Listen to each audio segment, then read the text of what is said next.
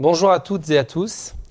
Euh, J'espère tout d'abord que cette vidéo vous trouvera en parfaite santé, euh, vous et vos proches, après les quelques mois éprouvants que nous venons de vivre.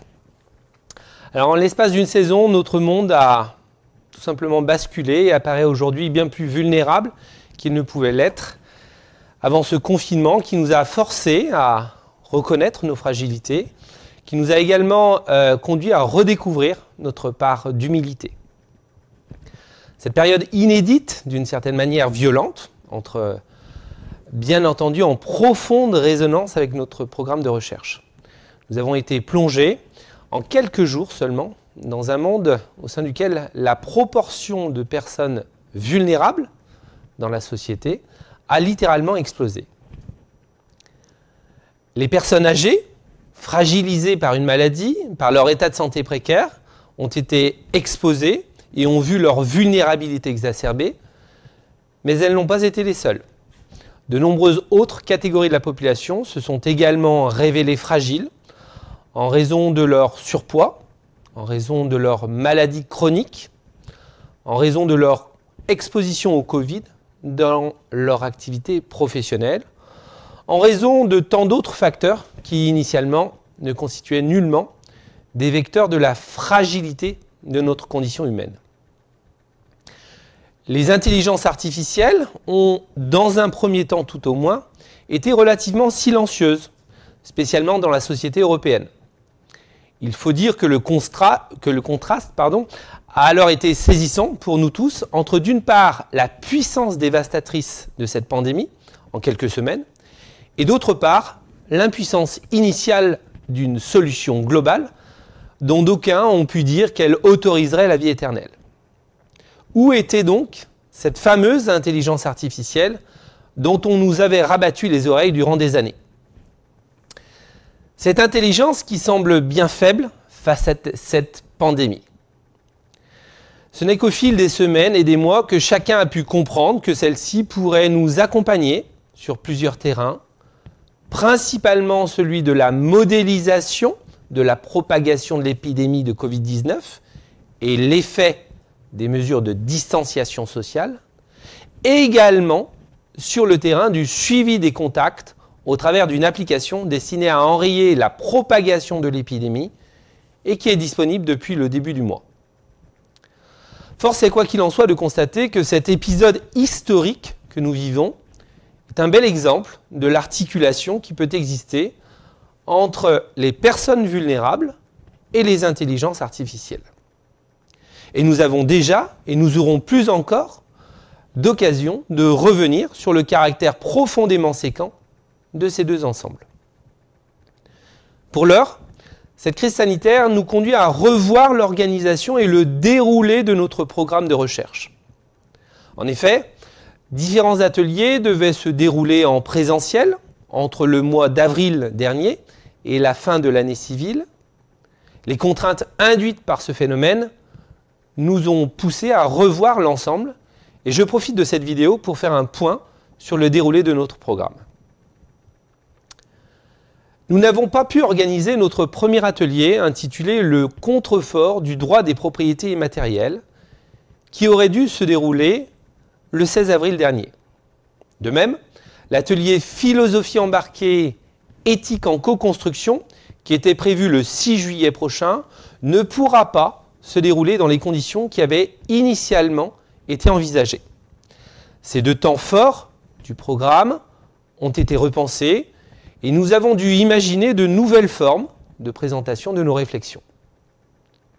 Comme vous pourrez le constater, les instruments utilisés ne sont pas similaires le professeur Marie-Christine Piatti et moi-même avons opté pour des capsules vidéo, dispositif relativement innovant pour un exposé scientifique, ce bien que certains de nos collègues avaient déjà utilisé cet outil en des temps bien moins troubles au tout début du programme. Ce sont ainsi plusieurs séquences, car nous avons souhaité des formats temporels serrés, consacrés au croisement entre le droit des propriétés immatérielles et notre sujet qui vont vous être livrés. Cette solution préférée présente certains avantages. Elle vous autorisera par exemple à revenir sur tel ou tel point de nos réflexions et ainsi à reprendre divers aspects de notre démarche intellectuelle. Mais l'enregistrement suggère également l'absence d'échange, de réaction directe tout au moins. Réaction qui aurait été possible lors d'un atelier que nous aurions organisé à Lyon. Notre collègue, Mathieu Guillermin, a opté, quant à lui, pour une autre formule qui réside dans une séance de travail à distance, laquelle se déroulera le lundi 6 juillet de 15h à 18h. Ce workshop aura pour objectif de permettre au groupe de travail consacré à la thématique philosophie embarquée éthique d'étudier la notion de vulnérabilité au travers notamment de deux interventions qui viendront avantageusement soutenir les réflexions et les débats portés au sein de notre programme. Christine Place-Bouter, maître de conférence à l'UCLI, reviendra sur ses travaux concernant la généalogie en sciences sociales et, pour le champ français, sur le terme de vulnérabilité. Jean-Pierre Bellan, professeur à l'Université de Sherbrooke, nous entretiendra sur son exploration interdisciplinaire des différents sens accordés à la notion de vulnérabilité. Les deux autres ateliers, programmés initialement sur le deuxième semestre de l'année civile, sont maintenus. Guillaume Rousset et Marion Girard devaient initialement nous livrer à l'automne le fruit de leurs réflexions consacré à l'impact de l'IA et des nouvelles technologies sur la relation de soins avec une personne âgée, et ce sera le cas. Le format retenu dépendra éminemment de l'évolution de la situation sanitaire en France, également des règles qui seront imposées par nos autorités de tutelle. De la même façon, l'atelier conduit par le professeur Pascal Boucaud, droits fondamentaux, dignité, impact des IA et des nouvelles technologies sur le respect de la dignité et des droits fondamentaux des personnes âgées sera organisé d'ici à la fin de l'année civile dans des conditions dont les contours restent à préciser. Il me fait par ailleurs plaisir de vous annoncer que l'ouvrage collectif, rassemblant différentes contributions de la plupart d'entre vous, est désormais sous presse et qu'un lancement est prévu en juillet prochain. Faute de pouvoir nous retrouver lors d'un temps consacré au lancement de ce livre, nous devrions vous l'adresser par la voie postale. La recherche-action qui se déroule avec le groupe Corian reste pour l'heure suspendue en raison des difficultés que rencontre notre partenaire.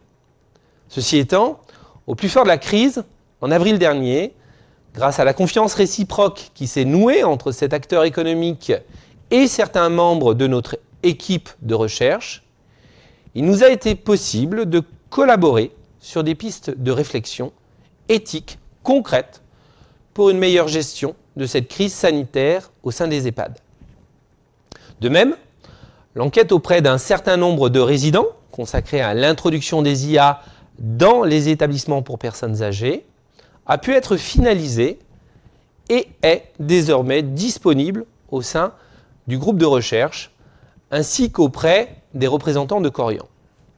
Par contre, les autres activités, spécialement les rencontres que nous avions planifiées autour des notions de consentement et d'articulation entre RGPD et personnes âgées, ont dû être ajournées et ne pourront possiblement reprendre que dans les prochaines semaines. La perspective d'une manifestation scientifique internationale qui nous permettrait de nous réunir et de confronter l'ensemble des fruits de nos réflexions reste d'actualité. Nous espérons ainsi en organiser une au cours de l'année 2021. Mais, comme vous pouvez l'imaginer, celle-ci ne sera possible qu'en fonction de l'évolution de la situation sanitaire mondiale. Permettez-moi enfin d'adresser au nom de l'ensemble du comité de pilotage du programme de recherche un message de soutien franc et massif à l'attention de nos collègues libanais qui doivent faire face à une crise économique, politique et sociale majeure depuis près d'un an et qui aujourd'hui souffrent et sont dans l'incertitude du lendemain. Nous les assurons de notre soutien indéfectible. Je vous remercie pour votre attention.